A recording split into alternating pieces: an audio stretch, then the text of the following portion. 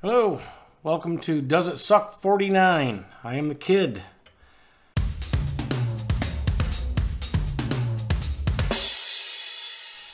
Not trying any food this week. A couple of weeks ago, I was watching TikTok videos and there was a video. Some guy was like, I'm obsessed with these. The mini Kobalt toolboxes. And I was like, oh, you gotta be kidding me. They're making mini fucking toolboxes. I gotta have one, I think. I'm trying to figure out, I went on Lowe's.com, Kobalt. Lowe's sells Kobalt stuff.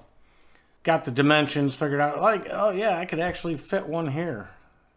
It'd be perfect for some of the stuff that I don't have a place for that's sitting on top of the bookshelf or whatever collecting dust because it's very dusty in this room. So I go to Lowe's, they don't have any. So when I got home, I went on Lowe's.com, looked at some other stores. They were all sold out, just completely sold out. So I said, uh, email me when they're back in stock. Well, they were back in stock uh, five or six days ago. And so I went back to Lowe's and couldn't find them. Finally did find them, and uh, they only had three left. They didn't have the green, the pink, the white, the silver. Uh, they only had the cobalt blue and black one. Um,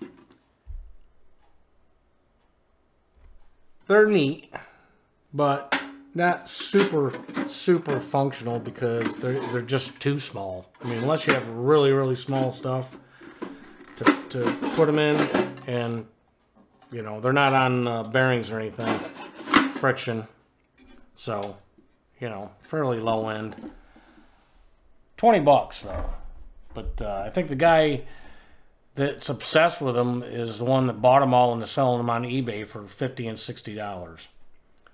Um, they don't suck, but they're not super functional.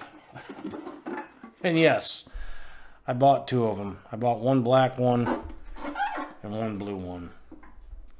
So I kept the boxes in case they go up to like $200. I'll uh, put it back in a box and throw it on fucking eBay or something. But no, they don't suck, but you got to have little, little things to put in them. So.